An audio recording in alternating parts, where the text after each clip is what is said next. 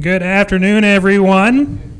Uh, I came in on the tail end of Stephen's presentation there, which uh, was very impressive. So, if you're feeling a little overwhelmed by his technology, rest assured you'll feel a lot better after listening to me.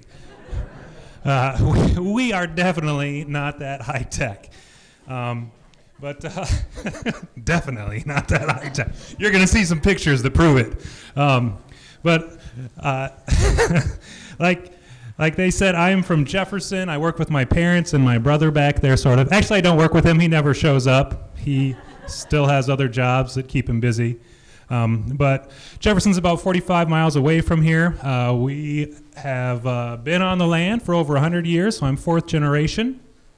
And uh, started going back and helping my folks out about, oh, eight or nine years ago in 2010. I was a high school math teacher for about 10 years before that. So I'm highly trained in the Apple business with a degree in mathematics and educational administration. But uh, this is our main business, or our, I guess I should say our, our primary facility here. So where all the action happens. Uh, it houses our retail shop, um, our cider press and bottling area, where we sort and pack our apples, and uh, our cold storage. And then recently on the left side there, we built uh, put a little seating area on for about 60 people in a small kitchen. The house on the left is where I grew up and where my parents still live. If we swing around to the other side there, you can kind of see some of our uh, orchards that surround the facility. We've got about 45 acres of apple trees. The majority of those are on are semi-dwarf trees. We have some dwarf trees as well, and we still have some old standard trees that are were planted out in the 40s after the Armistice Day freeze. Uh, and I guess what I'm going to do here is I, I just kind of like to give a brief kind of backdrop of what our business looks like so you can kind of understand the different things we do. And then I'll just go through kind of how we got started with hard cider. And hopefully, after I'm done, uh, you'll have a basic idea if you want to make your own hard cider, uh, just a kind of a quick, easy way to do that. Um, but uh, you can see in the picture here, we've got a parking lot. That parking lot is uh, about uh, where, our, where our sweet corn is during the summer. We have about 10 acres of sweet corn that we grow. Beside that is a pumpkin patch. We have about 10 to 12 acres of pumpkins. Uh, you can't see it very well in this picture, but we also have about six to seven acres, I think, of Christmas trees that we do for cut your own Christmas trees. So, got a lot of irons in the fire. We're uh, busy all year round, but uh, very hectic from July through end of December. I guess the other main attraction that we have, you can kind of see a yellow and red tarp type object there. That's a bouncy pillow. We have a kind of a family entertainment zone that you can pay admission to get into, where you have a lot of activities to keep you busy. The main one, main draw being the bouncy pillow, and then also we have a, about a five acre corn maze, I think. And Chris, if I say anything wrong, feel free to correct me. Okay. And that goes really for anybody. If you hear a mistake, which I probably will say a few things that you'll shake your head at, feel free to ask questions later and say, I think you're wrong I'll say, you're probably right. Um, but uh, give you an idea of where our income comes from. Uh, this is from 2017. Uh, you can see about half of our income is from on-site sales, half of it is from off-site. 40% uh, of our on-site sales just are generated through sales in our retail shop. Another 10% from people coming out to uh, get admission into our uh, family entertainment area. That could also count as concession income as well and half of it's wholesale. The majority of it is um, to grocery stores. We sell a lot of apples and sweet cider uh, to grocery stores, and about 4% comes from farmers markets. If we take a look at our wholesale amounts, uh, this is where most of our hard cider is sold, is uh, in the wholesale area. We, we do sell on site as well. But in 2017, about 10% of our wholesale was hard cider. If we looked at 2018, it'd probably be closer to 15%. But you can see that really uh, the, the majority of our wholesale, it comes from sweet cider. So we make a lot more sweet cider than we do hard cider right now. Hard cider is gaining a little bit every year, but uh, we probably press about 30,000 gallons of sweet cider if we have a good crop of apples. Uh, so focusing a little bit more on the hard cider, uh, this shows our growth over the years. Our first batch we made was in 2011. Uh, we just made a little bit because we had no idea what we were doing and I still don't think I have uh, I still struggle a little bit with what I'm doing sometimes with the hard cider. But uh, as we the years went on, we figured out a little bit more, uh, learned a little bit. Our first big jump, I think, between 2013 and 2014, or at least I felt it was a big jump. I'm sure a lot of people, or some people out there, looking at it and thinking that's that's hardly anything. Um, but I felt it was big. Uh, the main reason we had that was we had received a grant through the USDA uh, called a val- Value Added Producer Grant. Uh, and when we wrote the grant, one of our goals was to increase our wholesale sales. And so, because of that, we jumped up a little bit. And then you can see the next three years were kind of stagnant. We were kind of figuring out what we were doing in those three years of how best to market it. And in 2016, we kind of figured it out that uh, it's better to or easier to sell it to beer or sell it to the bars and local breweries and brew pubs as opposed to trying to sell it to grocery stores by the bottle. So we started selling it by the keg. That helped. And then 2016 to 2017, the other factor that helped uh, increase our production was we uh, came out with a peach flavored hard cider that was uh, well uh, well received, and then had a nice little jump in 2018 as well. But so how did we start? So this it's really this right here. Uh, in 2010, uh, I asked for a winemaking kit for Christmas. Uh, I was still teaching high school math at that time, so really I needed something to calm my nerves, and I figured what better way to do it than free alcohol. So I wasn't lying when I said we had no idea what we were doing in 2011 when we started making our first batch. That was probably the third time I'd made hard cider when we started selling it. So I, I made one batch in 2010. It was okay. I made a second batch. It was awful. I made a third batch. Still not good, but palatable. Um, and so my dad came up to me and said, "Oh, th- those weren't too bad." Uh, and he still says the same time every time he tastes some cider. He said, "Oh, that's pretty good." I'd say, "Dad, you say that every time." He's like, "Well, it is."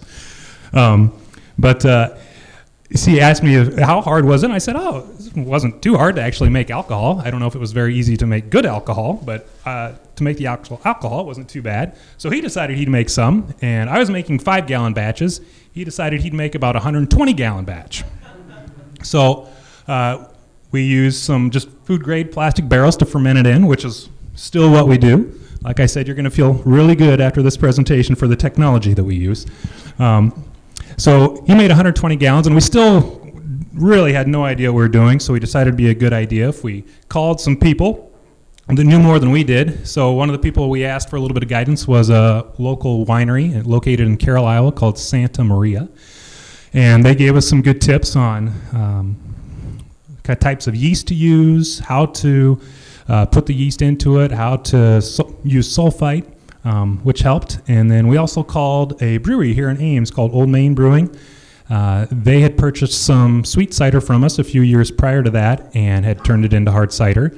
And so we asked them if they had any tips, and they said, well, um, if you just ferment it like the way that you're doing, you're probably going to need a little bit more flavor to it. So they suggested that we back sweeten with some of our sweet cider. So once it's fermented, excuse me, you can put it in a keg or somehow put it in some vessel and then add a little bit of your sweet cider back into it that's going to add some flavor. And then they also suggested um, we could buy a big tank to do that in or we could buy some small kegs. And so we went the cheaper route, the small kegs. We bought some Cornelius kegs like you see there. Um, and we bought a CO2 tank and a regulator and that was pretty much all we needed to get to the point where we enjoyed the cider that we made. Um, so wasn't a terrible amount of work. Uh, we were pretty pretty happy with uh, the small investment that we we had to make. Um, just really these few things here, and we were kind of on our way. Now we still had a lot of cider to get rid of, and we couldn't sell it because we weren't licensed. So, like I said, this is our high-tech assembly line here. We say just like Budweiser.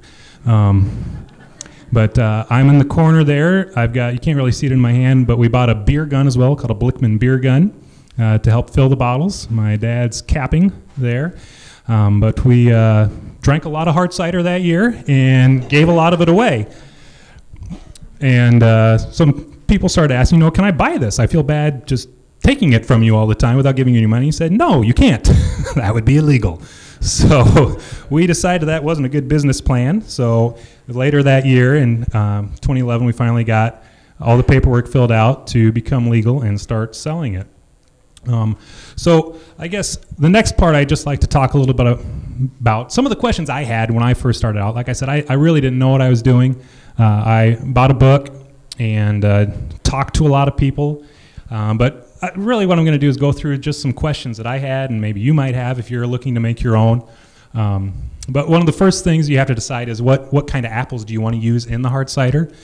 Um, and in a, most orchards right now in the United States probably just have mostly dessert apples. There's a lot that are starting to plan out uh, the heirloom varieties that are meant specifically for hard cider. I think Paul will probably talk a little bit about that. Maybe Deirdre will too. Uh, we don't have any of those, so a lot of the recommendations for those more traditional ciders we couldn't really follow. Uh, this one, kind of the astringent apple there, you could use crab apples or wild apples, which we don't really have access to. Uh, so that was that was the recommendation from the book, and I followed it a little bit. Um, but really, what happens with us is we just kind of use what we have, and the, so our blend is composed mainly of Jonathan, Yellow Delicious, Red Delicious, Honeycrisp, Chieftain, Haralson, or Empire. Those are our probably most prolific varieties that we grow or that we have the most of. And we really just try and balance sweet and tart when we're making it and try and at least make it equal. And if it needs to be a little uh, higher ratio of one, we always choose to make it more tart than sweet. If you have too much sweet, it's just going to be a little bit bland. Right, so there's a quick list of all the varieties that we grow. We probably grow close to 30. Some of those are trees that aren't quite ready yet. We just planted out a few years ago, and the deer seem to be giving us problems with getting them developed. So Evercrisp and Granny Smith, we've got a few rows of those out, but they just don't want to get to the point where we can pick them. And the ones in red, like I said, are the ones that we have the most uh, most quantities of. So Jonathan and Haralson are, are the apples that we most often use to kind of get that tart flavor in the cider that we're looking for. Uh, here's a shot of uh, one of our harvests. This is, uh, we pick into bulk bins. Uh, six, those hold about 16 bushel. And this is our sorting equipment. no computer necessary. this, this picture was from 1985, and if you went there today, you'd still take the same picture. Except it wouldn't look quite as nice. The green is worn off a little bit, and so is the orange there. But uh, that's what our sorting line looks like. Um, really, I think if you're looking to make your own hard cider, probably the biggest hurdle you might have to clear is finding a, a press. So we have a rack and cloth press shown here. I think, Chris, is that 150 gallons an hour we can make? Do you remember? Does that sound right? Okay. Um, so obviously, if you're looking to make your own, just for a home home brewer or a home winemaker, you won't need that big of press. Um, but I think maybe a kind of a personal press might be five or six hundred dollars. You can buy one for. I'm not not certain, but definitely not that big. You don't need one that large. There's a shot of it in action. Cider getting squeezed out. Um, so after you've pressed the juice, the next step is you need to ferment it. So when we start fermentation, I guess the first question we had to answer for ourselves is do we want to ferment with the natural yeasts that are found on the apples or do we want to add our own yeast? And we decided to kill off the natural yeast. Sometimes it works great. Other times uh, you can get off flavors just depending on the strain of yeast that's out there. So we add a little bit of potassium uh, metabisulfite to kill the yeast, and then we'll add our own yeast. Um, when uh, the other thing to consider when you're starting the fermentation process is what is your end goal for your alcohol volume. We like a finished product of about 6.9% ABV is what we're shooting for in most of our ciders. So that usually requires us to add a little bit of sugar.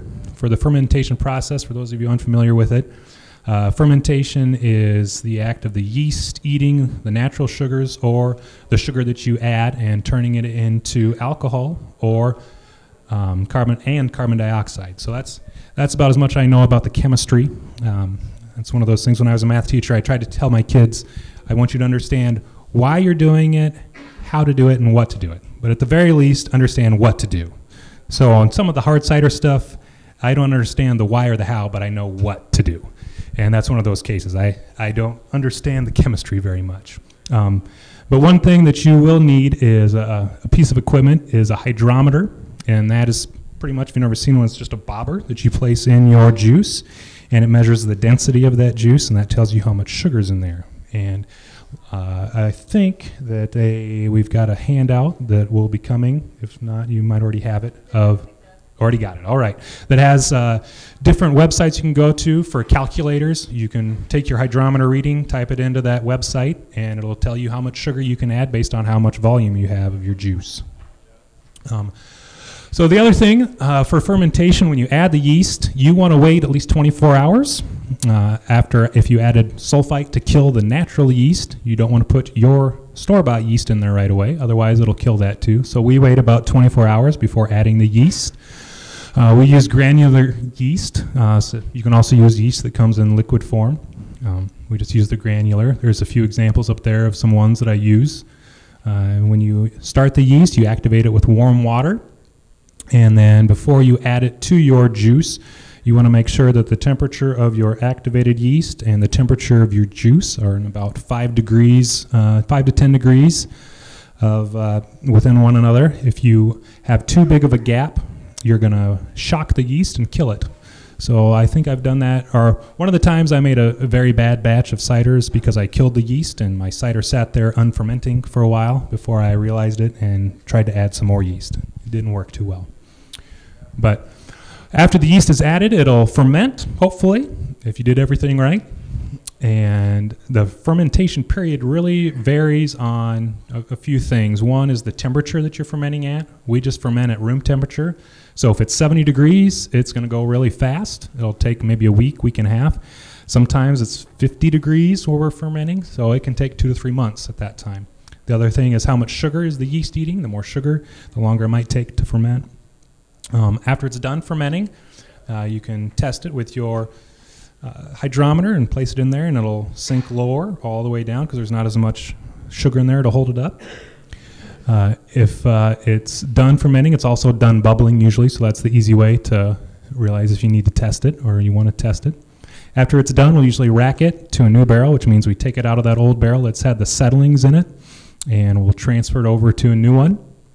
Uh, it's nice and clean and sanitized, and then we place it in our walk-in cooler and allow it to sit for at least a week, maybe more. Uh, oh, here comes the good stuff. And by letting it sit in that cooler there, uh, it's going to clarify the hard cider a little bit more. And uh, like I said, I like to let it sit at least a week. Um, a lot of the times it sits for longer. Uh, also, like I said, we, we've come out with a few flavors of hard cider. Um, if you want to flavor it, you want to do that probably right before you're going to put your cider in the carbonation tank. So one of the places that we get our flavorings from is GLCC Flavors. It's listed there. It's a company out of Michigan, I believe.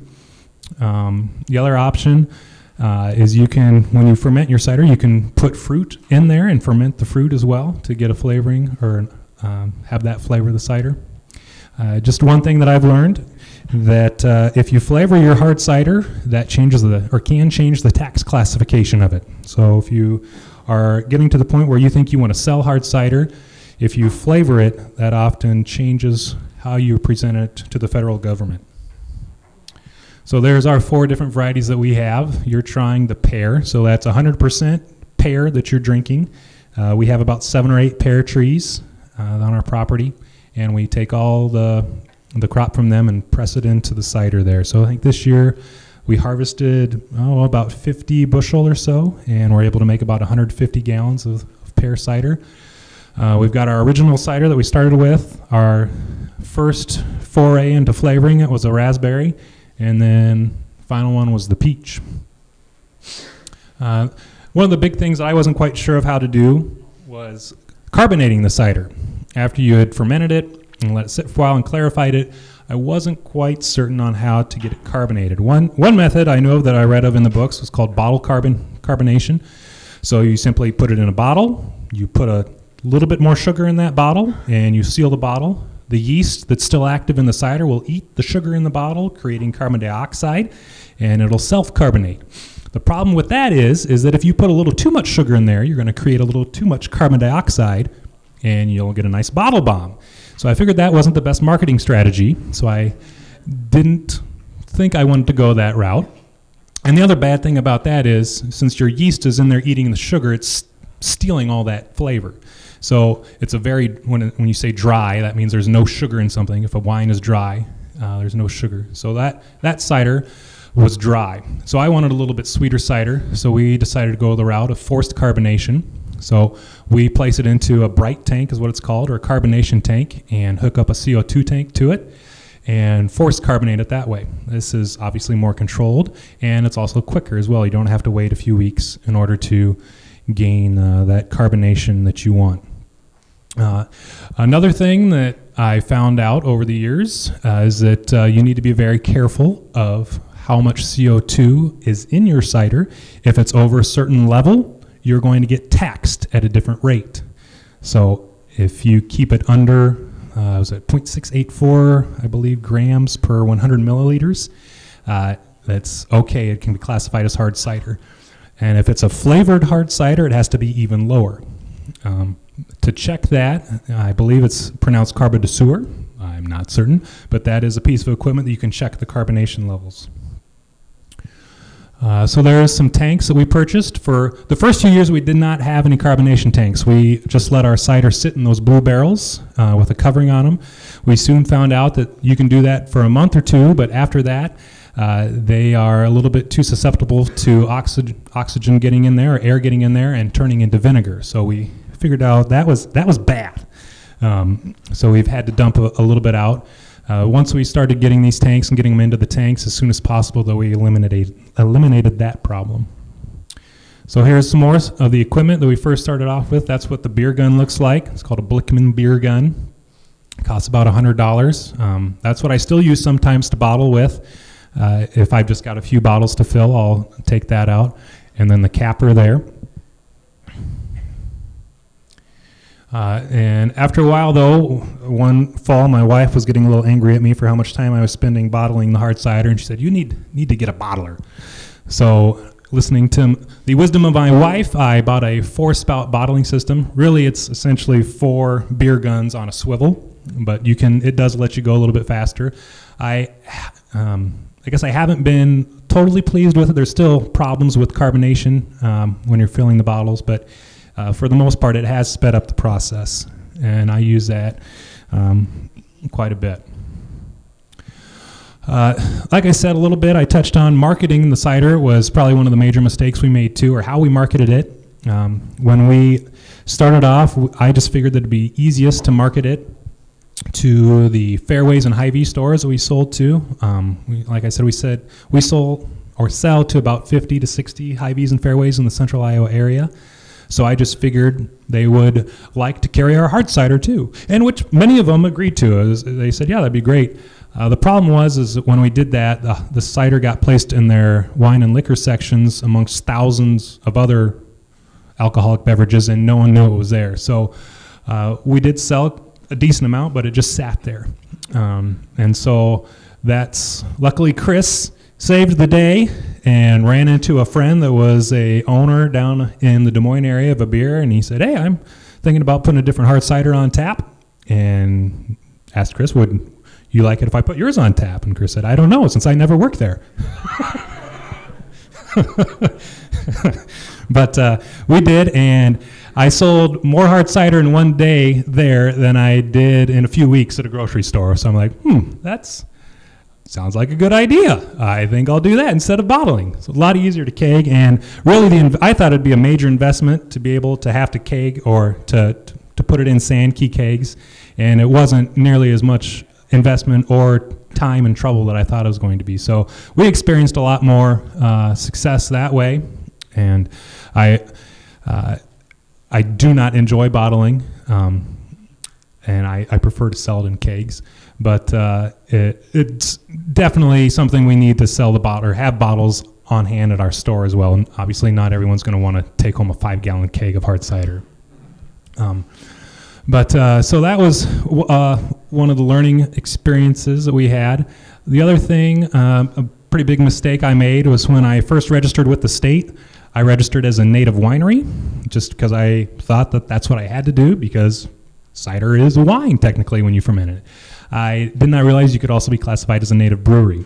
Um, the big difference uh, from that is I pay a lot more in taxes when I sell it to wholesale, uh, to grocery stores or bars. So I, I think, let's see, it 19 cents a tax for classified as a native brewery per gallon? Do you know? Where'd Paul go? Do you know what, what the tax per gallon is when you sell it to a native brewery or as a native brewery? Five cents a gallon. So I pay a dollar seventy-five a gallon as a native winery.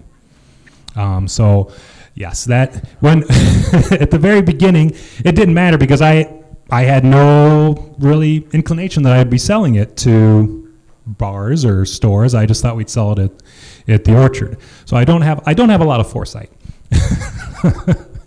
My brother, again, is an engineer, so he does.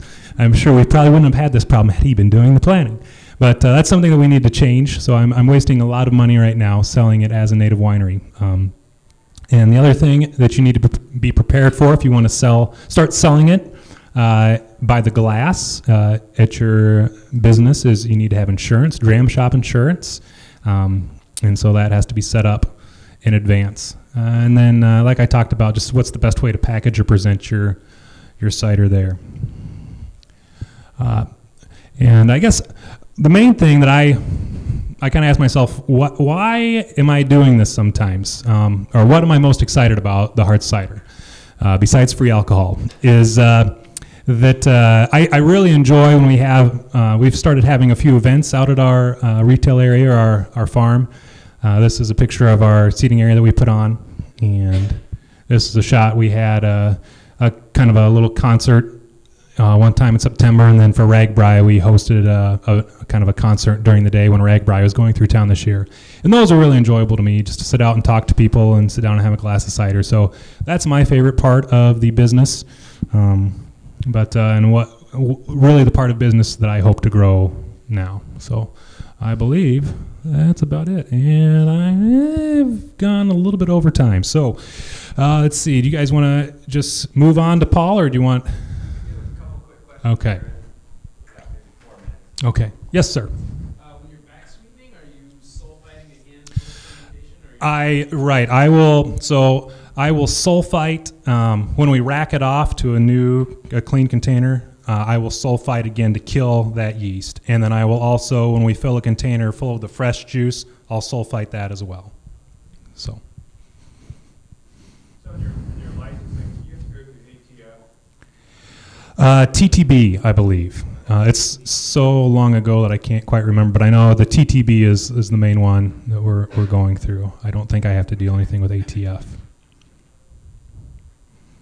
But yeah, that was I spent a lot of time on the phone with with the TTB because a lot of the forms, it's it's not brain or rocket science, but it's a lot of the questions like I don't know what they're asking for here. Like they say list the form number. Well, I don't know what what do you mean form number?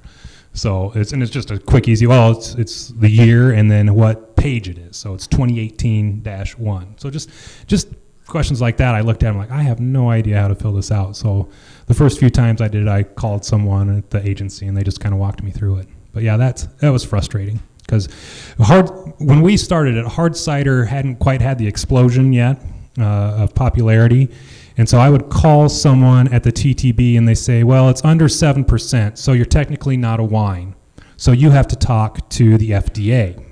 And so I'd call the FDA and they say, well, no, you're a wine. You have to talk to the TTB. So no one knew what, they would just pass me off to somebody else. So I, I remember being very frustrated that no one really knew what was going on and couldn't answer my questions. So I don't know if that's still the case, but hard cider's gained a lot of, of popularity over the years, and so you see, I've seen a lot more just links on their websites say, "Here, cider, go here, do this." So I think they've alleviated the problems a little bit. Yeah. Is the process for making pear cider pretty much the same as making apple? Yep. Same exact thing.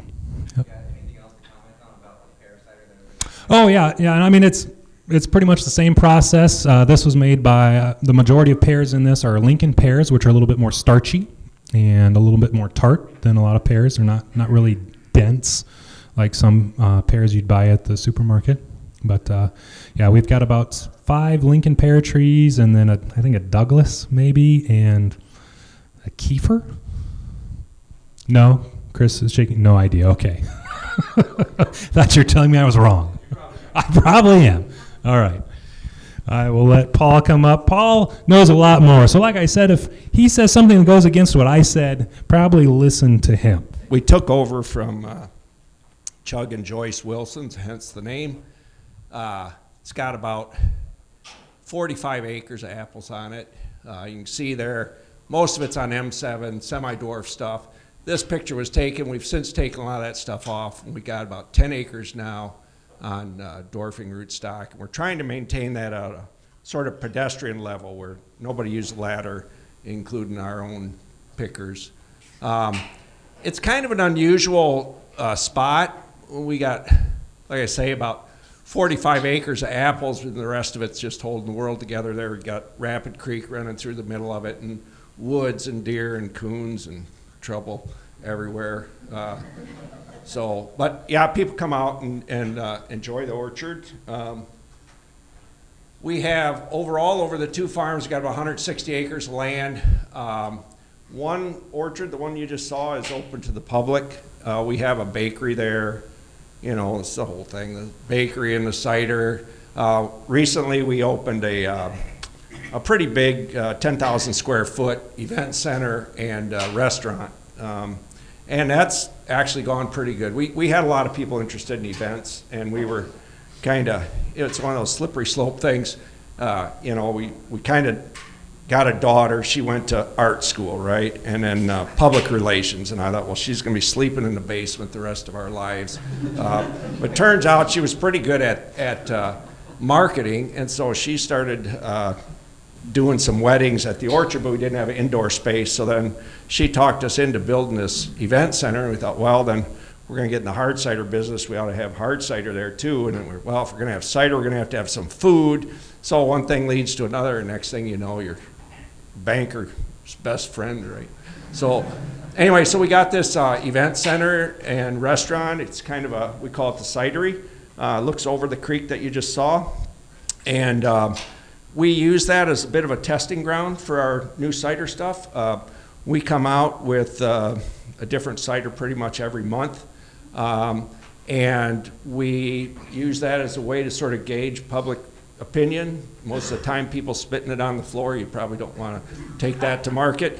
Um, but we've done some some weird crap too that works out pretty good. We made a coffee cider one time that I thought was just the worst idea in the world. It went over pretty good. Um, so there's different stuff that works, different stuff that doesn't. The other farm uh, is really not open to the public. It's where we make all the cider, but we do some sweet cider as well. Um, and we do the hard cider there. We do pack some apples out. We also raise sheep because we got too much time on our hands. Um, so of the between the two farms, we got 65 acres of apples. We grow for some reason that still befuddles me. We grow over 130 varieties of apples. Um, a lot of that is stuff that we inherited. Some of it's just two or three trees of this. Um, and we're sort of whittling that down a little bit, but it seems like every time, you know, the, the thing about you get these catalogs in the winter and you're just like, guy, that, that variety sounds really good. So then you want 10 of those trees. So we, we had it down to about 100 varieties, now it's back up. Um, of the, yeah, so we have about 40 acres of U-pick. We've been planting for the last three years uh, cider-specific varieties at the orchard that's not open to the public.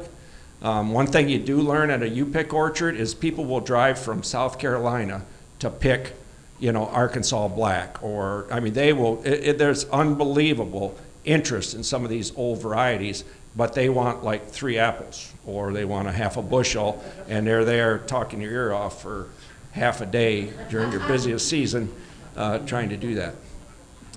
So, uh, why we got into the sheep business? We grow Katahdin sheep, which are hair sheep.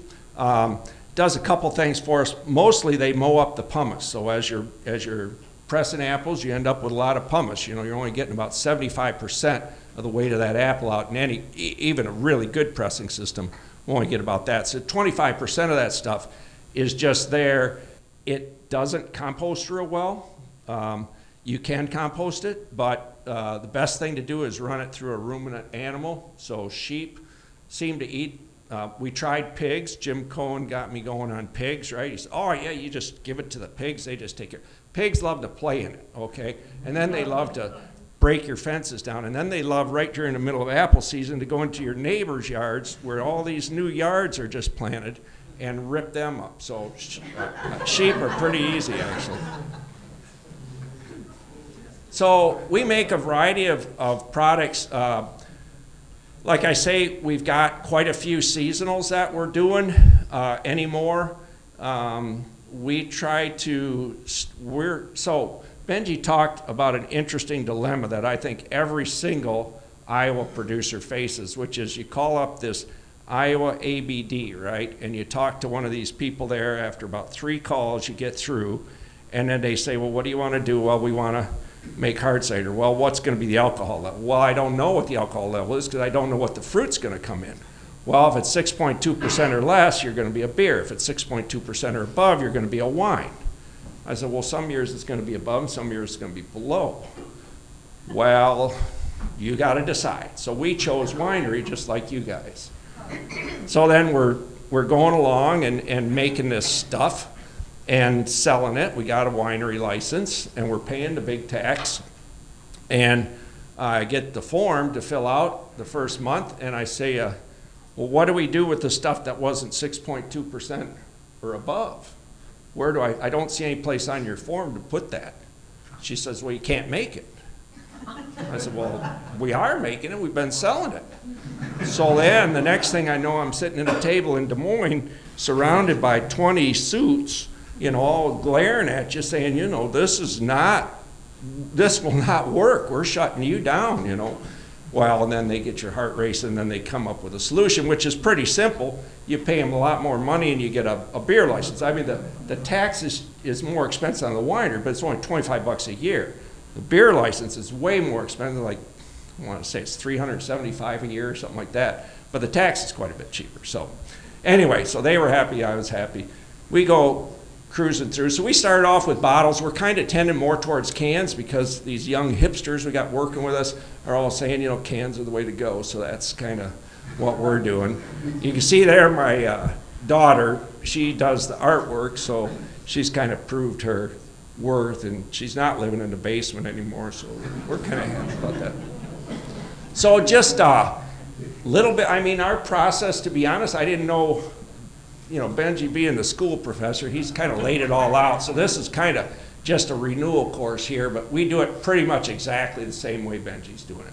You know, you, you squeeze this cider, you pitch some uh, SO2 in it to kill off the wild yeast. You put your commercial yeast in, you ferment it. We ferment a little bit on the cold side. We'll talk about that. Um, and then we, we settle it out, we rack it, we settle it, we filter it, carbonate it, we package it, and hopefully you guys buy it. Um, so that's the basic process right there. Pressing apples, fermenting, we rack it, that gets the, the, the cider off the lees, all the dead yeast could give off flavors. Um, and it can contribute to, to a secondary fermentation if you're not careful. Um, we age it. We found aging works really good for us. Then we filter it, we blend it. Oh, there, my daughter wouldn't like that at all, but we bottle or, or keg, kegging it. That's what we're doing. Um, we have a different kind of press, so that ours is a belt press. Um, we're lazy, so this works really good for us. So one guy can produce about 200 gallons an hour with this press, and and he's got plenty of time to listen to his iPhone or whatever the heck else he's doing. Not working usually.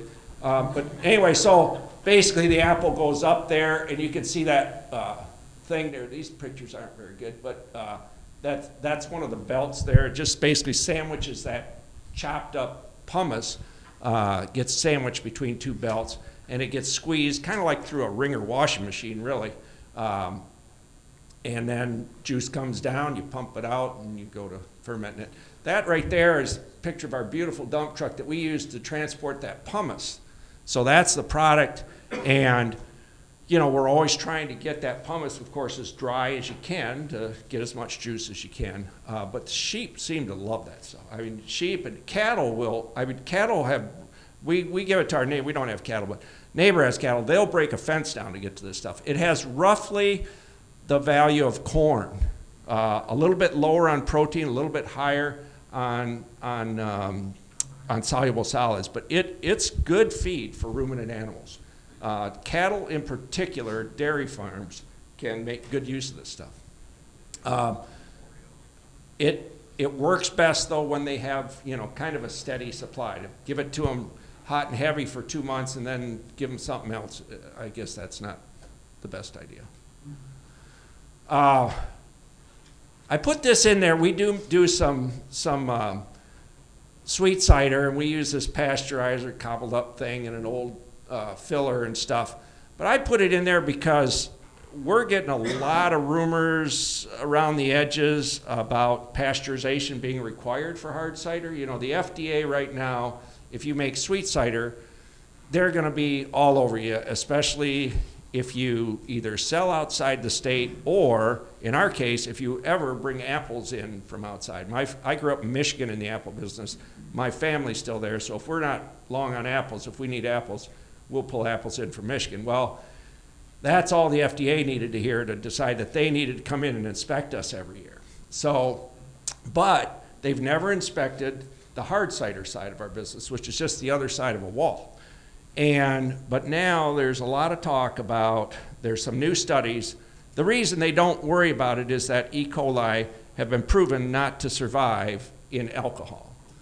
But there are other nasty bacteria that at levels less than 6%, they're now saying you can't conclusively prove that they all die. So there's some idea that hard cider will have to be uh, pasteurized either pre-fermentation or in the bottle or you know at, at some time or another. So just as you guys gear up, and, and we should make a plug for CiderCon, uh, the national uh, um, uh, Cider Makers Association puts on an annual event called CiderCon. That's in Chicago here coming up early February.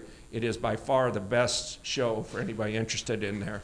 But the most interesting thing about CiderCon is always the opening bell where they get everybody in a big room. Last year, I think it was like 1,200 people in Baltimore, and they give you little little uh, dinger things that you everybody gets to say what what answer these questions, and then it puts the results up there. The most interesting one is always how many of you are haven't produced any cider but are getting ready, are planning a cidery right now, and it's almost always at about 50 percent. So there's still a lot of interest in cider. There's a lot of, of cideries in planning out there right now. So if you're one of those, um, you might want to just think a little bit about whether pasteurization is going to be required or not. Fermentation, uh, yep, like Benji and those guys, we use commercial yeast. We like a slower ferment. We, we like to ferment down around 60, 65. We think it gives a little better flavor. Um, I will mention that uh, I should have mentioned before about our apples that we use. Benji did a really nice job talking about his. Our blend tends to be very similar to what theirs is. We, we mix a, uh, uh, a sweet and tart. Uh, we probably go a little bit sweeter maybe. Um, but we go uh, sweet and tart. And uh, we don't have a lot of apples in our repertoire that have tannins, so we can't make a really nice English cider like Deirdre um, can yet. Um, we're getting there, but it's slower. We, so we try and extract every bit of flavor we can out of what we have to work with. Uh, our ferments are taking 10 to 15 days. We do reuse yeast a few generations. We find that speeds up fermentation a little bit. Like those, like the deals, we ferment to dry and then we back sweeten. Uh, and we use SO2, of course, to prevent. I mean, that's just standard. So the, the scoop on hard cider is that it's made like a wine, sold like a cider, sold like a beer. I think that describes our operation pretty, pretty nicely. There are a lot of higher end ciders now that are made like wines and sold like wines, and, uh, and that's a good program. Um, it's just not our program. Like the deals, we're sort of always stumbling. Okay, we use these uh, plate and frame filters. So again, we, fil- we ferment, and then we rack, and then we, we uh, hold stuff in these 330 gallon totes for about a month. And then the stuff settles out more, and we run it through these filters. And this gets rid of the of any. Uh, it, it, clarifies the stuff really nicely, makes it real sparkly, um, and then we go from here right into bright tanks. We do use some pectinase enzymes. We don't use a lot of fining agents. We haven't had to, but we do use uh, some pectinase enzymes to clarify the back sweetened uh, product. So if we want to, we always back sweeten with cider, or if it's like our cherry product, we back sweeten with cherry juice. Um, but that stuff, we use pectinase to clarify it ahead of adding it back, because otherwise, um, it's just a real problem to get it through these filters. Uh, then we have a series of bright tanks. Uh, same thing, you know, you use a carbonation stone in them and get them cold. This is inside a cooler, and um, and yep, that's how we do it. We we've never tried bottle conditioning. It's we're, I mean, this is a pretty easy program. Um, anything more difficult than that would be way beyond us. So, uh, in terms of packaging, so we've kind of do it slightly different. We use mobile bottling units. So um, we had one come in from Michigan to do our glass bottles. We have another one come in from Twin Cities to do uh, cans.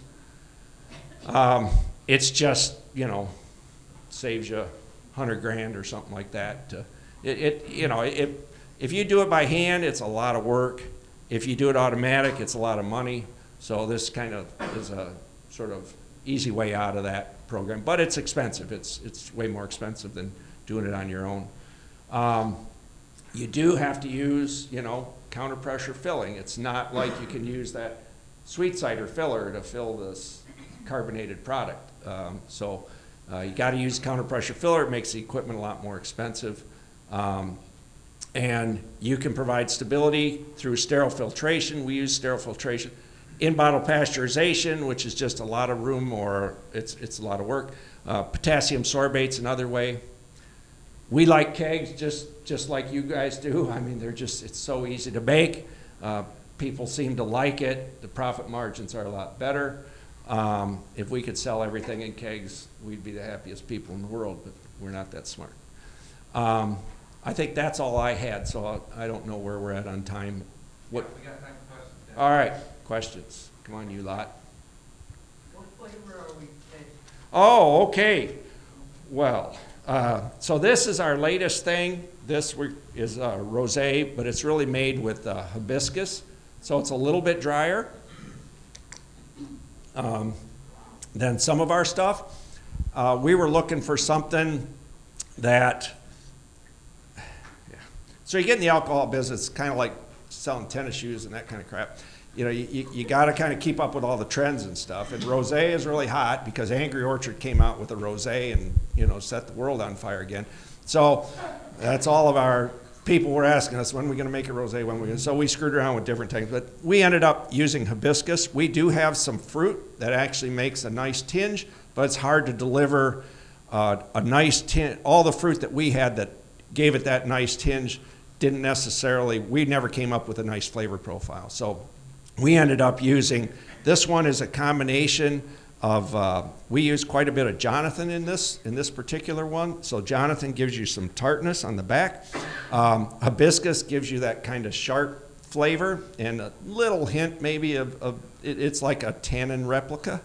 Um, and then just you know, we use a lot of uh, we when I planted our orchard um, in uh, 07, I planted way more galas than a person should have ever the right to grow in our operation. So we ended up with a lot of galas. So we use a lot of galas as an apple. We like to press them. They store well for us, and uh, they make a decent juice. So this basically is probably mostly gala, some McIntosh, a lot of Jonathan, and hibiscus, um, and then carbonation. And back sweetening, we back sweeten with Jonathan juice actually on this one. So that's what you got there. Is your, is your filter, that a diatomaceous first filter? No, these are um, these are just sheet filters. Um, I don't know how to describe them. It's uh, it's like sheets of paper but thicker, maybe like a piece of cardboard almost. And you can buy them in different um, different porosities. So you can go from like a thousand grade on down. This is a PAL. That different manufacturers have different systems for grading them, but they're all the same. You can get them coarser filters or finer filters right down to EK, which is supposed to be, it's not pure sterile, but it's fairly close to sterility. Okay, so you have to run it through the coarse filters first, why we got two filters. We'll run it through the coarse filter and then out of there right into a finer filter and, and out you go. And then, it, so it goes from our racking um, uh, totes, we go into the coarse filter, out of the coarse filter into a fine filter. Out of the fine filter, we go into the bright tanks and then we carbonate. You, you have to backflush them, or do you just have to replace them? You just replace them. You can backflush them about once, maybe twice, but it's an expensive way to do it. I mean, as soon as we make our first gazillions, we're going to invest in a in a nice crossflow filter where you don't have to do any of that. But that's, you know, it's uh, sixty-five to eighty thousand dollars, something like that, for a small. Is that your sterilization process then? More or less, yeah. Yep. You can, like I say, you can use potassium sorbate. You can use um, in-bottle pasteurization as well. Yeah. Do you know if the flavored beer industry, like the apple flavored beer, is that something you'd ever get into, or is that not even real apples? Is that artificial? That has nothing to do with apples. Yeah. So it's not a flavor, it's not, they don't. It's flavored. It's just apple flavoring on top. Yeah, I don't think there's any. I mean, you know, so you have in in the states, uh, Angry Orchard is like 70% of all the hard cider sold, and they they make theirs with concentrate, which is the easy way to do it. I mean, it, it's it's still it's you know, so concentrate is apple juice with the water taken out of it. Mostly it's from China. Then you bring it over here. You can add the water back, and then you can ferment that just fine. Yep. But the apple beer, like the Redd's ale and all that stuff, as, as I understand it, that's just beer with apple flavoring on top of it. It's not. It's not cider, yeah, yeah. There are now some new government regulations that are kind of helping to define cider because cider was always this uh, ugly child between wine and beer. The TTB didn't really know what to do with it. The states alcohol divisions didn't know what to do with it. That's getting clarified some now. So I, I mean, even the carbonation thing is is starting to get easier now. I'm curious about that, um, the mobile bottling that you mentioned. Yeah. So how far in advance do you have to book that? And like, originally when we were talking, I asked about your hoppy cider and you said, oh, we won't be bottling that for a while. Yep. Um, So, and then i- is there any concerns about, you know, having your product ready to bottle but not having the bottler available? Or can that, can that sit, you Yeah. It's a, it's a, you know, outside of the cost, that's the biggest problem with mobile bottling is especially, like right now, you could call this guy Nate up there at Lagersmith and he'd be, he'd have somebody down there tomorrow. Because right now, nobody bottling beer. But during the season when everybody's bottling beer, that's the season you want to be bottling your cider. And they, you're talking, you know, six weeks out. It, it depends. We do it regular with them, so we have a kind of inside track. But uh, a lot of times it's six to eight weeks out. And then the other problem is, is you got to have enough capacity, you know. So you saw our bright tanks. We got we got a whole nother bank of them as well, and that's all because sometimes we got to bottle, you know, every bit of fermented product that that we have at once because we won't get them back for three weeks or something. So. And will that s- sit in the bright tanks fine without any, you know? Yeah, it, it yeah, it's got carbon. di- It's it, you know it's carbonated. Um, it it doesn't bother, but I mean we never do it. We're always playing catch up. We're never that organized. So it's it's like um, we get about a week ahead. We can start filling all those tanks and then get it ready for them. So the couple that you you just want it stable. Getting the carbonation stable is really critical uh, to to making bottling work, and it, and it's a struggle. Deirdre.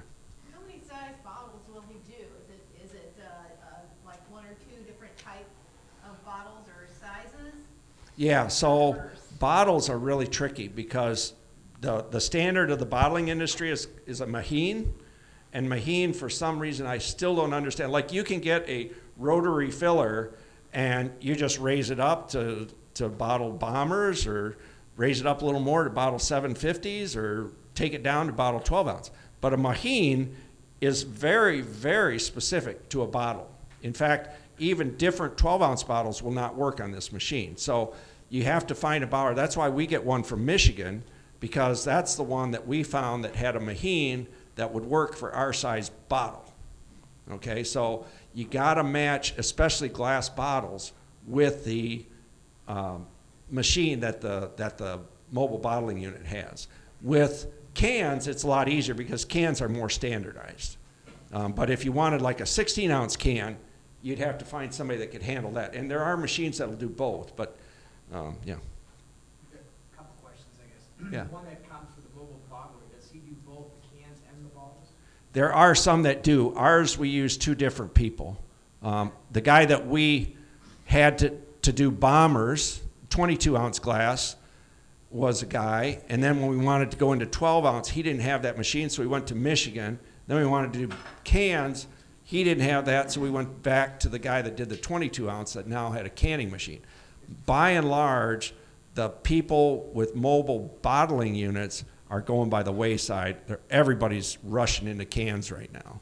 So if you want to get into your own bottling unit, right now, after, I mean, we looked hard for about two years at buying a glass bottling unit, and you couldn't find them. Now, cripes, they give them away when you buy a pack of Cheetos or something. I mean, they're everywhere on these. You're talking about buying a used setup. Yeah. you're doing it. Right. So what's your mix right now from glass to can? Well, we're pretty much moving, right now, I mean, we're gonna do one big bottling push coming up, and then we're gonna go completely into cans. Like starting next, this summer? Uh, start by this summer, hopefully, yeah. I mean, there'll be remnants, you know, it'll drag out for a while, but yeah. So eventually we'll have our own canning line. It'll just be a lot easier to be able to do everything ourselves. But, you know, to, to Steve's point, that's really a big advantage of canning or of having your own machine is that then you can do small batches and you can do you know, both small batches of stuff you're doing on a regular basis, but you can also do uh, small batch trials of stuff and things like that, and stability tests, and uh, you know, it's, it's just a lot easier program. So? Okay, one more. There was somebody in the back there. Yeah. What, what cider apple varieties are you most interested in? Okay. Um, well, you're going to get the Maestro up here next, so uh, I, I won't go into too much, but I can tell you from my experience, uh, English cider apples are a huge pain in the wazooties. Um, I mean, they just they bloom at exactly the wrong time for us. They they bloom starting when everything else is shutting down. So they start to bloom in about mid-May. Most of these varieties that we plant, we have probably 25 varieties planted, and um, they tend to want to start blooming just when conditions start to get perfect. You know, they, the temperatures come up well above the 60 degree threshold, humidities come up, you start to get these nice light rains. So, you know, it, it's been a real struggle for us. And then they don't, they don't bloom and quit. They want to bloom and bloom and bloom, a lot of these. So, um, this is the first year we actually harvested much. We've had them three years, and, and I bought some really god awful looking trees the first year. Um, and so it took three years before we could get a crop off that. I just didn't want to crop them. Um, this year we did crop them, and I would, I would say that, um, that, I mean, we really like Dabinett as a tree. A lot of people say if you're going to plant one one cider apple, Dabinett is a really good one. It's a more annual cropper. That's the other thing about English and the French cider apples. A lot of them are biannual. They'll bear a lot one year and off the next. Uh, um, Yarlington Mill, we like. Um, we, I will say the early cider we've had from Yarlington Mill is seems like the tannins are pretty sharp on that. I, I'm not very impressed with that just yet, but we haven't really worked with them a lot yet to know. So about two years, maybe you can come back to me on that question, or you can just ask Deirdre here, and she'll have all the answers for you, anyways. All right, thanks, you guys. I'm a hundred miles away from home, but I'm certainly no maestro or, or expert. And I'm a, I guess, a zero generation grower because I found myself uh, born in Chicago and raised in the suburbs. But since I got involved with horses pretty deeply at a young age, I went off to college and thought I would be an equine vet. And then that's where I met agriculture and ag classes. And so I went into agriculture more for developing countries and spent about 20 years uh, working in and out of, of Africa. And when I was back in school working on another degree in agriculture, I met my husband, or who would become my husband, and he asked me, You have all this stuff in agriculture, but have you ever thought about having a farm? And I was like, me have a farm? How would I have a farm? So anyway, um, I accuse him now of just um, not wife shopping, but farmer shopping. So uh, I'm the I'm the farmer in the couple, and um, we, uh, after about uh, seven years, we did finally uh, find some farmland, and we just bought some land in southwest Wisconsin in the beautiful Driftless area because it just had a pretty landscape. We just fell in love with it. We didn't know what our business would be, but uh, when we got it at the end of 2002, we thought, all right, now, what is that business going to be? We always knew we would do it organically and that we wanted to do some sort of high quality finished product. So, um, and there were certainly a lot of wild apple trees around on the farm, so apples was an obvious thing. Um, but we were considering other things, and um, but I found myself as a grant proposal reviewer for the USDA reading on um, hard cider. And so I shared that with him, and I did notice that in his file of farm ideas, there were some pages ripped out of American Airline magazines of being the vineyard grower in Napa Valley. So I think he thought he could kind of, you know, see himself doing this. But um, again, it turned out uh, that, I, that I'm the farmer, and he's the one who held the job down to uh, uh, to have the money to pay for the farm, which we're still paying on. Um, so uh, we decided that we would pursue cider although in 2003 it was a relatively unknown beverage in the US. It's America's oldest beverage, or original beverage, since a lot of Brits came over uh, to colonize, or we were the new colonies. Um, but um, uh, it would take a lot of work to, uh, to bring cider into the marketplace. Um, we also learned about English and French cider varieties. And we thought if we wanted to make the best product we could, what are the apple varieties you use? Just like if you're, since cider is made like a wine, if you, I mean, what are the best grapes to use for the kind of wine you want to make? So we, we, we took it from the approach, of what are the apples uh, we need to produce the kind of ciders we had in mind? And, but we quickly found out that those apple varieties weren't even available in the US. These are tannic varieties of apples. Um, actually, they're not all tannic, but at least in the English and French um, grouping of cider apples, they include some that uh, contain tannins. And tannins, like in a wine grape, uh, are, can give mouthfeel or complexity to your to your finished beverage. So that's what we are after, because we, we, we envisioned doing a very wine-like product, since as you've heard from from Benji and, and Paul, it's a very wine-like process that you're making them through.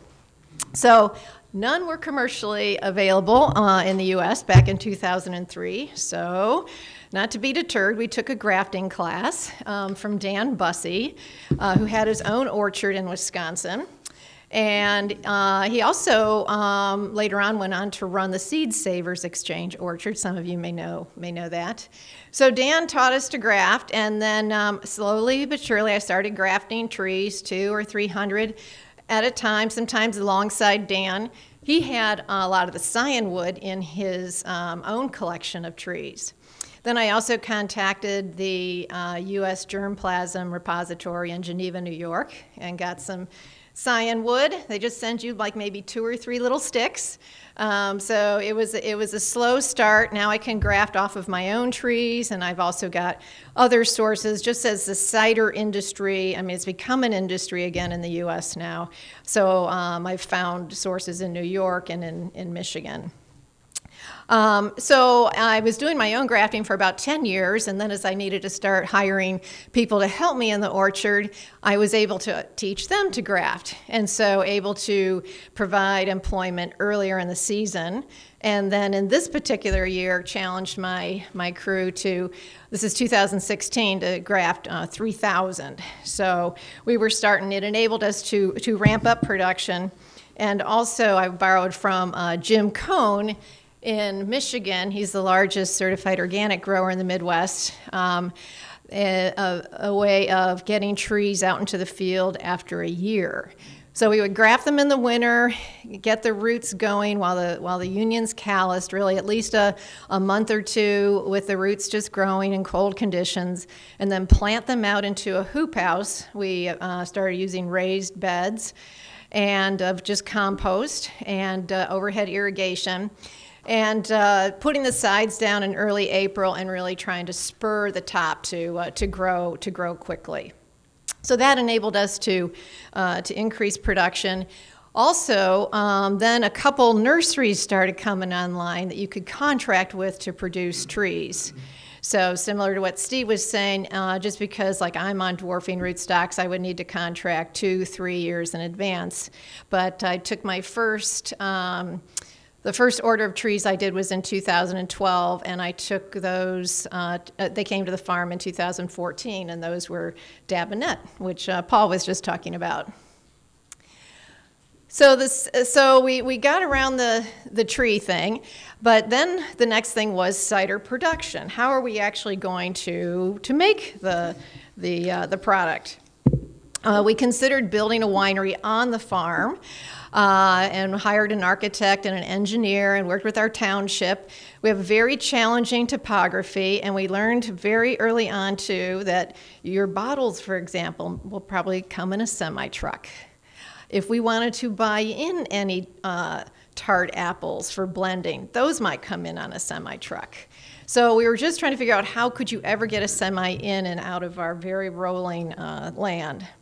We also would not be able to do retail there because, like Steve's mentioning, we don't have much much for parking. I'd literally have to pave over the prairie we established to put in a parking lot. Um, so I started looking uh, in 2011 for a winery in the area to contract with to make our ciders. So 2011 was, was the first year we are going to get any sort of crop over 100 bushels. So I was looking for a place that made high quality wines, that they had the capacity to contract with to do ciders, and an interest to make ciders. And I really wasn't finding that in, in our region. So I just said, all right, A to Z. What, you know, we could sell the apples, we could, I'd read about uh, the second distillery opening in Wisconsin, and it happened to be near Madison. So called him up, he made apple brandy, he contracted for another grower I knew, and he was very intrigued by our apple varieties. So we went with, we went with Yahara Bay Distillers, a distillery just outside of Madison, um, to make our apple brandy. And so we've come out with, uh, in 2013, after a couple years of aging, we came out with um, a two year aged apple brandy. And then we've continued to produce apple brandy or do a release of apple brandy every year, and also came out with a three year, and then just this fall came out with our first uh, five year aged apple brandy. So we felt like also with um, some of the packaging and branding that uh, we were able to get that we got kind of a, at least a, a toehold into the marketplace with a, with a fine, reputable product that would help our brand. But it still didn't solve the cider production. So uh, some people moved in on a neighboring farm um, that had been on the market for a long time who were from the Chicago area, so they're just up on weekends. And uh, but the husband happens to uh, do farm to table restaurants in Chicago area. And they buy product from the four states around Chicago, and that includes all their, their beverages. So they're very much into uh, craft spirits, craft beer, craft wines, and cider. And they really wanted to have their own house cider. So he said, Well, I see you exploring around for how you might. Um, get your cider made. How about I buy the juice? I know a winery in Illinois, and we sell it at the restaurant. So we went with that. Gave it, we ter- termed it our beta test. Let's see how well that winery does, if it's worth having it made uh, in Illinois. Chicago was certainly a market we wanted to get into, so there's an advantage there. And so everything went great. It sold well, they did a great job, and so um, we've been working with that winery in the Chicago area um, ever since. So now we have two products in the marketplace ciders um, that uh, are focusing on or featuring our English and French um, bitter cider apples, some that we ferment to cider and some that we ferment to our Wisconsin apple brandy. Um, and now we also have been able to uh, put on the back label that these are all made with our organic apples Um, we've since gotten the distillery to go organic for fruit brandies. So we'll be able to start putting organic on the front label of our products, um, starting with our probably next year when our next two year release comes out. Um, so with the um, restaurant partners, they did kegs and bottles. And they found that in their restaurants, the keg product was moving, but bottles were not. And they had packaged in all 750 cork and cage wine bottles. So it's about a $3.50 investment just in your bottle, your packaging alone. So um, we decided we would just go into uh, start with start with kegs, and we start we found a distributor in Wisconsin and one in Illinois, and so we started working with them to move our our kegs into restaurants, and it was very slow. You just do not build a brand with a keg product, and especially when you don't have you know a farm retail center like like the other like Benji and Paul have described. So in 2017, we added a bottling line just to get us further into debt. so, um, but you know, I said, I said to my husband, if we don't do bottles, we will die. But at least, it, let's try the bottling line. At least we'll died trying. So, but we haven't died yet. So um, we also came up with a with a new logo and started packaging in 500 ml bottles. Um, I did, uh, as I was going around trying to sell our keg ciders, I would ask restaurants, what packaging would you want the, what our ciders to be in? And I got pushback on larger formats. And so we went with a smaller one of a 500 milliliter bottle. And so um, there, and then we've um, actually come out with um, five different styles of cider, or actually, I should say four ciders and a cyser. And how many of you know what cyser is? So cyser happens when you ferment honey with your apple juice, it becomes cyser. So it has a higher alcohol content since your wine yeast are fermenting two sugars. So ours is a 9.2 uh, at least that vintage is. And then um, it, it, and then we uh, also back sweetened that one with with some of the honey. We have beehives on our farm that we have another beekeeper manage, so um, it's great to have honey sourced from our farm. And we'll source another local honey keeper, uh, beekeeper if if uh, if the hives didn't produce enough. That one, though, we get to pay, um, we charge more for because we have to pay a wine tax on it and, of course, uh, the cost of the honey. So right now they're passing around samples of our classic dry. And that's the cider I like everyone to try.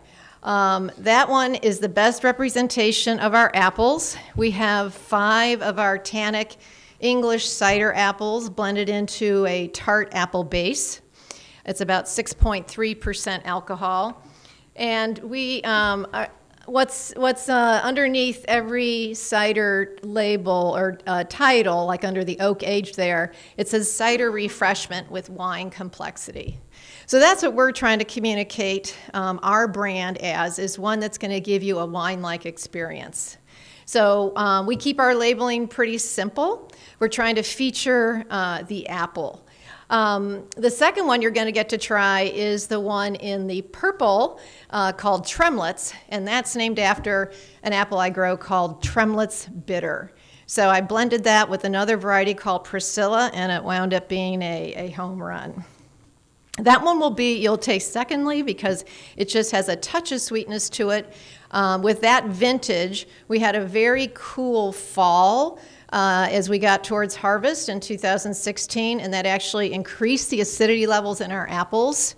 And uh, as I know it did in some other um, orchards. And so we had to back sweeten with just a little bit more sugar than we did with our, with our first vintage. So now just a little bit about uh, the cider farm in terms of the horticulture. Uh, it's an evolutionary process. I'm still learning a lot. Um, so we're on stony silt loam soils. Thank you. Um, and I first started planting into a, a fallow ground. Uh, it was three and a half acres. I did cover crop it for um, three years while I was waiting for my trees in the tree nursery. Uh, it was totally fallow, so we got our neighbor to come in with his chisel plow. Um, and then I just kept disking it up and uh, turning uh, crops of buckwheat and other things in. Um, then, as we've as we uh, have been kind of filling that out, it kind of ebbs and flows because we keep getting fire blight. It's our worst place for fire blight. Um, but then we uh, started moving into uh, some other row crop ground on the farm that was uh, about a 14 acre piece. And I hope to fill that out um, with trees this spring. And uh, then after, I'm going to hit the pause button. And then after a couple ye- years, we'll turn, we'll go into the, another nine acre field. Uh, I started out grafting on M7s just because that's what Dan Bussey was using, and then I, but I uh, was interested in the in the semi dwarfs, and then early on switch, or excuse me, the dwarfs, and then early on switched to uh, switch to bud nines. So the um, the three and a half acre piece is uh, where we started is all a vertical axe kind of system. Uh, the rows are 15 to 20 feet apart. Um, we I mean, back when I first started planting these trees out in 2006, I had nobody to tell me what my planting distances should be, you know, what I, I mean, especially if I was doing them on, on dwarf rootstock. So it's, it's been just kind of a, a, a total learning experience. Um, now I'm doing more of a tall spindle. Uh, as I went into the, the crop ground field, um, I started out with 15 foot rows, and the next year I planted at 14 feet. Then the next year I planted at 13 feet, and then the next year 12 feet, and now I'm just staying at 12. So we do 12 foot and then three feet to four feet between the, the trees. Now that there's a little more information coming, um, I'm able to get uh, do the ones that I know are going to be more vigorous at a four foot spacing, whereas the others are all at three. I do have two uh, disease resistant cultivars of Liberty and Priscilla. And I tell you, when we got our first blossom on those English cider apples, and, um, and we also got our first fire blight infection, and it was not insignificant. It wailed on us. I could have hugged those Liberty trees because they just they just jumped up and, and and the Priscilla they just just jumped up and gave me apples. Um, so, and then we also, um, while I focus on growing tannic fruit, my husband likes to say I, I grow horrible tasting apples and they're sometimes ugly because um, tannins don't really taste good to eat. So I'm not I'm not trying to grow apples that taste good. I'm trying to grow apples that drink well.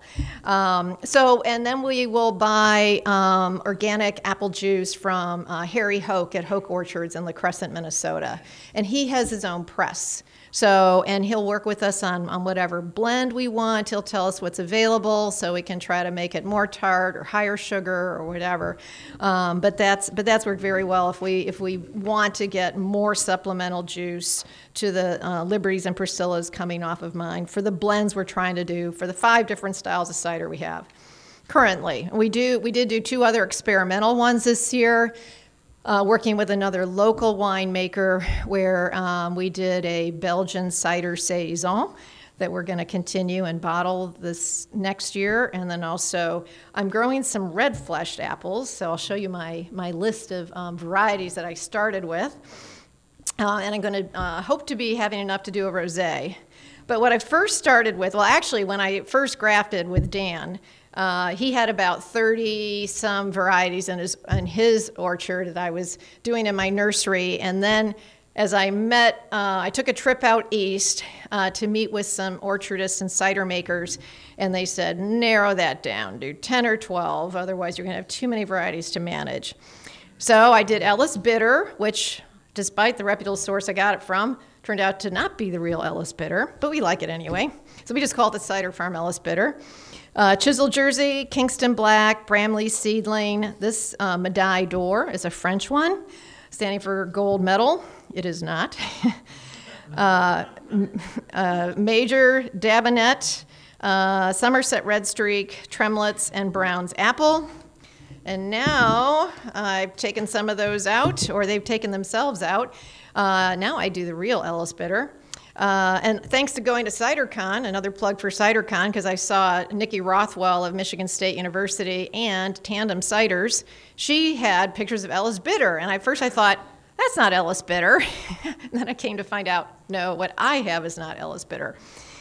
Uh, Chisel Jersey, Kingston Black. I really don't care for, for growing Kingston Black, and uh, so I would never recommend it to anybody. And in fact, when we took a trip to the UK, we were uh, in the in an orchard or in a in a cider mill, and the manager and the owner were both uh, excusing themselves while they had a somewhat vigorous discussion about the milling of this certain apple. And it turned out to be Kingston Black. They said it is tough to mill. So I thought, all right, take note. So then we go out to the orchard, and this is in October, so they're harvesting. Harvesting by machine. They get all the apples on the ground, and I wish I'd written down what this man said he and his, and his colleague could harvest in a season, but it was hundreds of hectares, just two guys and two machines. Because they get them all on the ground, shake, have tree shakers if they need them, and just uh, like giant Zamboni machines get them up, uh, sweep them up off the ground. Then he started, so anyway, we're out there, and he starts complaining about a certain apple variety, and he said, Where would you even begin to prune this tree? And it was Kingston Black.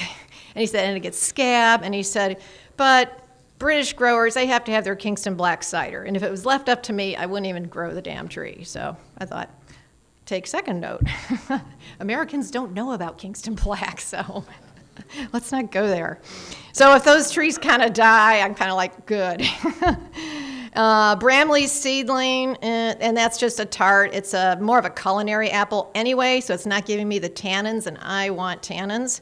Medaille d'Or killed itself. It gets fire blight like the Dickens. If it's in the neighborhood, it, it gets it and it dies.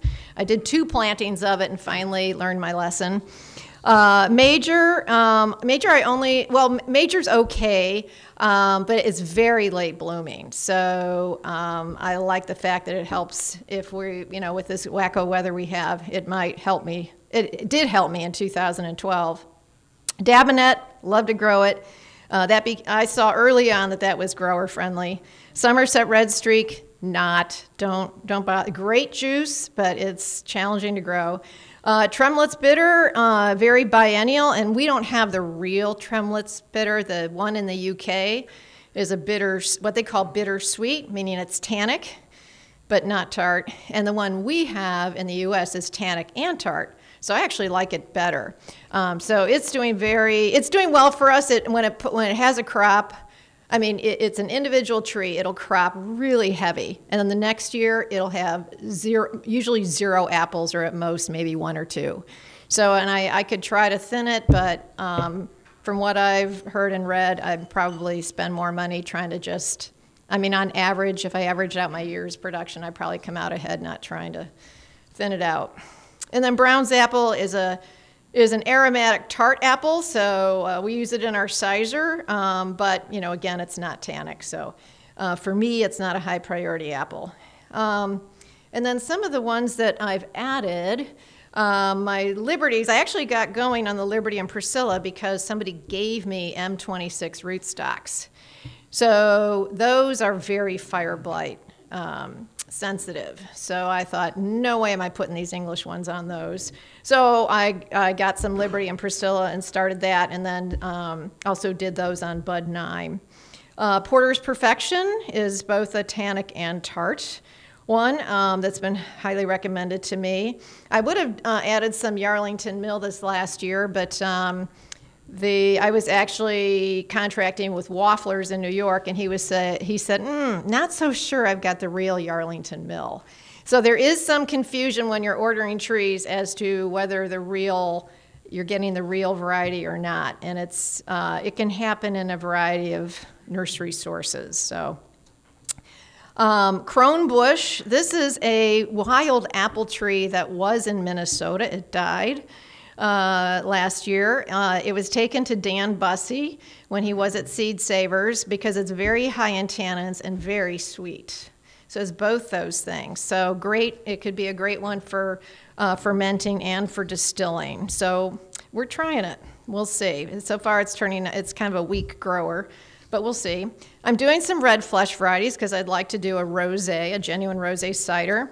Um, since Medaille d'Or flunked out, I'm doing, I uh, got hold of some Matei from um, uh, Nikki at, at, Michigan State. Uh, so that, because that is a French brandy apple, and we do what we consider a French style or Calvados style apple brandy because in, in the Calvados region of France, where they do where they're known for their apple brandy, they use a lot of tannic apples. And they also add some pear. So we, we have um, some pear trees, perry pear trees on the farm, so we throw that in the mix. And then we age. Now we're doing an American twist where we age in charred oak bourbon barrels with some wild apple wood from the farm. We did a three-year age where we reused a brandy barrel when brandy when barrels were in short supply, and we really liked the result. I mean, we thought the French used barrels for generations, so let's just repeat use of that barrel. Turned out great. So now, uh, when brewers call me, my barrels are not for sale because we reuse all of our apple brandy barrels, and we're looking forward to what a real French brandy apple variety might do. And then I've uh, also started grafting two American brandy, brandy apples. So next, I uh, just want to talk about some of the considerations uh, in terms of apple varieties. Uh, that kind of a framework one might use as, as, as you think through. I'm just sharing kind of a framework I found myself using that uh, you might use also. Um, but in terms of marketing and the kind of product you're trying to make, um, horticultural concerns, we've already mentioned some of those, and then some of the um, risk in growing these. So in terms of um, marketing a product, um, we, uh, our brand is based on using these rare apples and being organic. So that was, that was one thing um, that works for us or that we're, we're electing to do. Uh, we're uh, working on blends that, that feature our apples. So we're not trying to hide the apple or cover it up. And in fact, when um, we are, I am finding a lot of people who do like dry ciders. Our brand is dry. And so it doesn't work for everybody, but we find, especially in urban areas, a lot of people prefer that. And in fact, when I'm in stores or at events doing samplings, and somebody might say, um, "Yeah, I, I, don't, I don't care for ciders," and I'll say, "Well, have you tried a, a dry cider? Maybe you prefer dry." And they'll and they'll they'll taste it and be like, "Oh, I didn't know cider could be like this," because they may have just had some of the national brands that do tend to be um, sweet, and there are some people who prefer dry. Yes. When you barrel age them, is that American oak barrels or French oak? For our brandy, uh, we are using uh, yes, American oak. So it's uh, they're charred oak bourbon barrels with some uh, wild apple wood from our farm. A lot of American bourbon barrels actually then go over to Scotland to age Scotch. So uh, at first it was it was kind of hard. Now with the you know with the uh, growing of craft distillation in the states, a lot of those there's a lot of competition on those barrels, and then a lot of barrel makers have come online now too, in response to that. Um, the other thing, as we've already discussed, is wh- what kind of format do you want to be in? Kegs, bottles. Uh, I forgot to put cans on here. Of course, cans. Cans, as, as Paul already mentioned, are growing very rapidly. And then what do they communicate? Since our whole tagline is cider refreshment with wine complexity, uh, when, when wine is uh, commonly recognized, good quality wine in cans, you know, then we'll consider cans. But I mean, we even wanted to be in like uh, have a cork, and, and if you're doing a car, since it's carbonated, it has to be a cork and cage. But you know, it was just the price price point for that packaging that kept us away from that. And then can you, if you're if you're in beer packaging, can you sell your product at a beer price and may, and be profitable? That's one of the things that was said to me back in 2005. Because when I went out to uh, uh, the Northeast to meet orchards and cider makers, they uh, when, when I went to Bellwether Cider, he was way ahead of the curve, and he said, Look, he goes, first thing I want to tell you is don't package in a beer bottle. That was back in 2005. Now, we've seen the explosion in the cider market, and it has been in beer bottles. Um, but he said, I bought a beer bottling line, and, and he says, it's just collecting dust now. So, because he found pushback, and he literally had a guy say to him at an at a uh, event, you know, my wife over there, she would come over here and buy your cider if you were in a wine bottle, but she won't buy it in your beer bottle. So, so anyway, that gave you know us something to consider. I think, I mean, you know, fast forward. Uh, uh, 13, 14 years, there's you know so many, so many packaging options. I mean, we actually would prefer a green bottle to that one or a clear bottle, but that 500 ml format of ours is there's very it's very narrow in terms of the choices. If we did a 750, lots of choices: clear, green, amber, blue. Um, but in the in the 500 ml, um, it'll it's it's very limited. Yes, Do you do any still ciders or are they all carbon? ours are all carbonated. Mhm.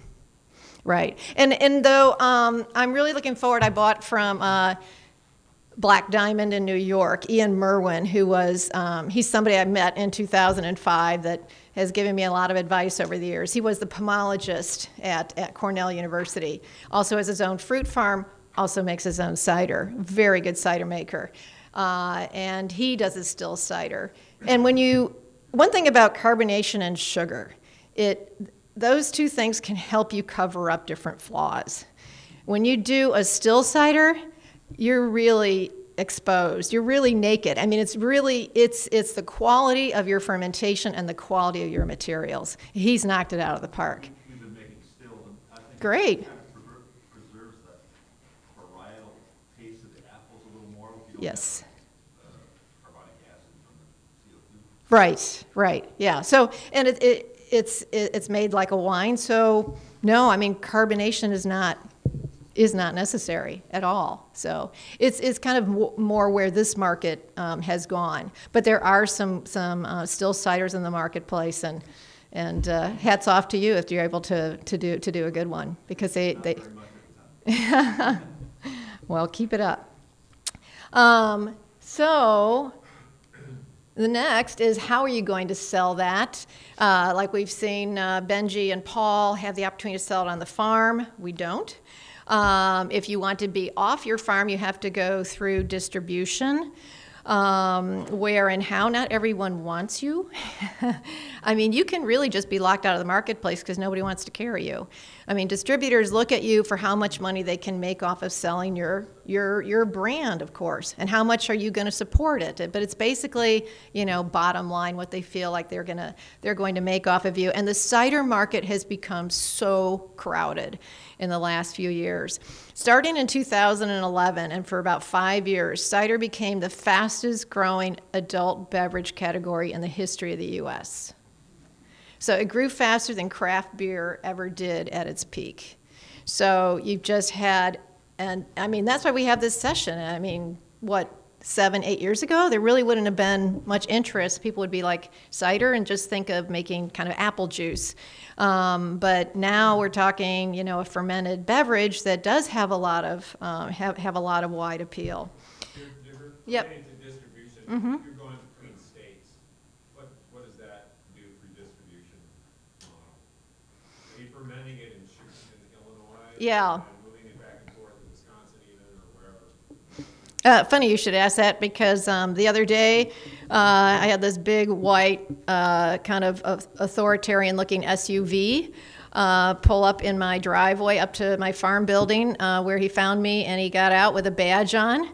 Um, and uh, apparently, um, we didn't know that our winery um, was supposed to have an out of state shipper's permit the one in Illinois for our distributor in Wisconsin to even go there and pick up.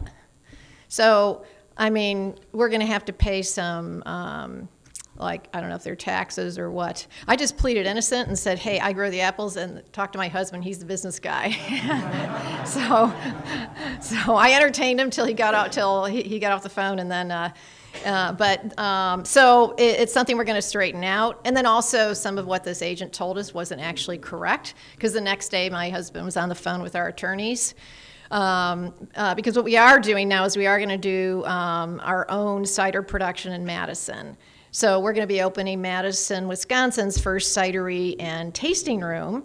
So we'll be moving our, our equipment, our packaging, and our carbonating equipment out of the winery, and we're getting our own fermentation tanks and um, putting that into um, a place in, in Madison that we that, that we found. So we won't now. It'll be well. Now we'll have to figure out the reverse.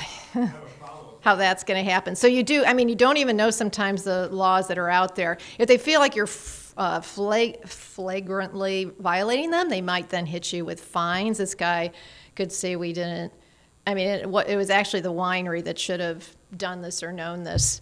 And um, so we're, we're going to pay some back taxes. Because they're basically, what I've learned too is that is basically the states and the feds are looking for money. They, they, they, they want their tax money. So if you keep them happy with their tax money, then um, you're usually pretty good. Uh, just about, did get the same summons? Oh, I, I don't know of him getting any summons. Well, you know, that somebody dropped off at his farm and said, oh, your your juice went over to the fermented. Well, that's just juice. He's just moving raw juice, raw apple juice.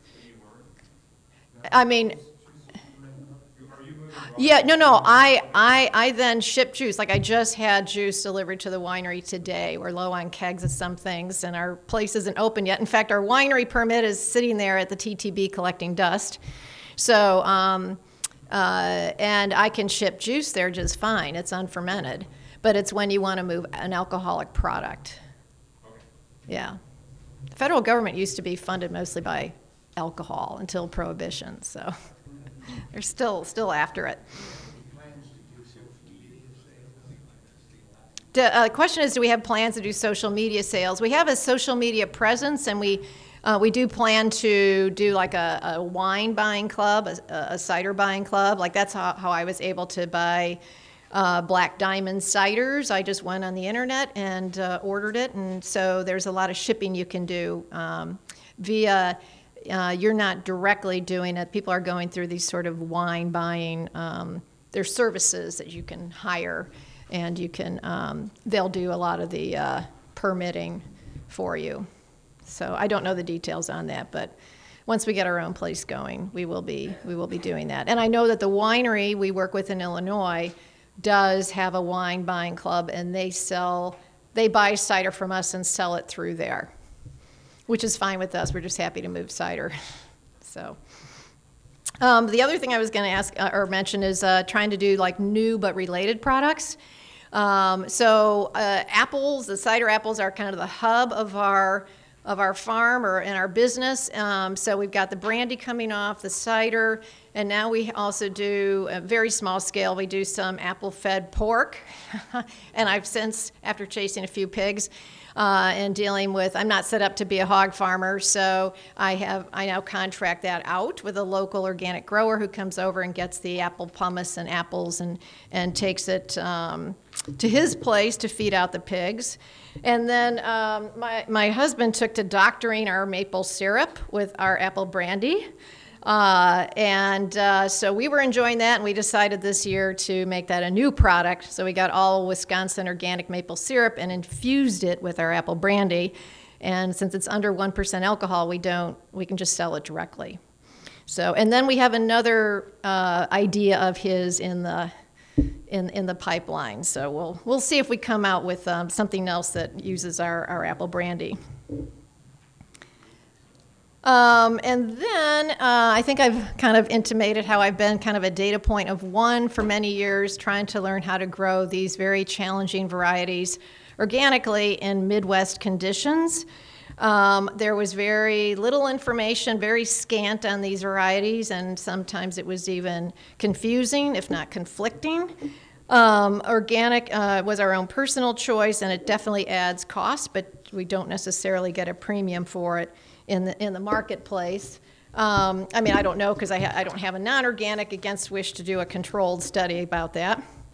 Um, uh, you've heard about fire blight. Um, that's the biggest, kind of my two major pests with these varieties are fire blight and then uh, round-headed apple borer. Um, because those, those two things are lethal to the trees. Uh, if you're non-organic, you won't have to worry about apple borers because other sprays you're doing um, seem to take care of that.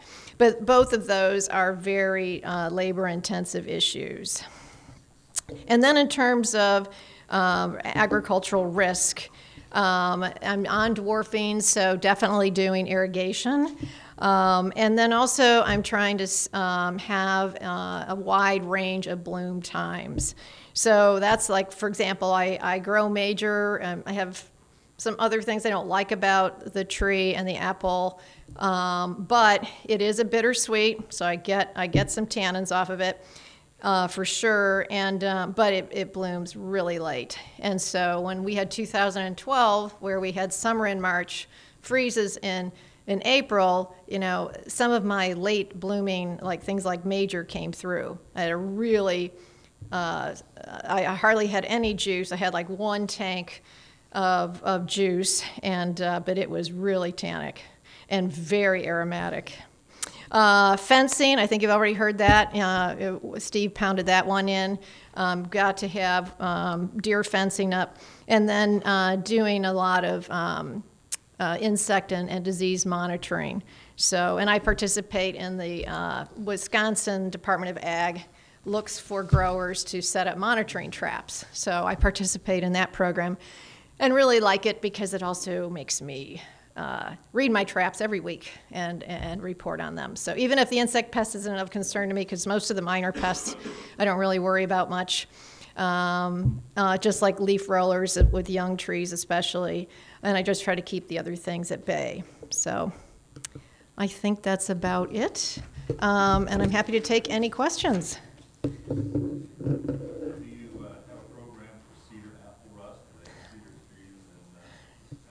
uh, Maury Wills and I were just talking about that out in the hallway.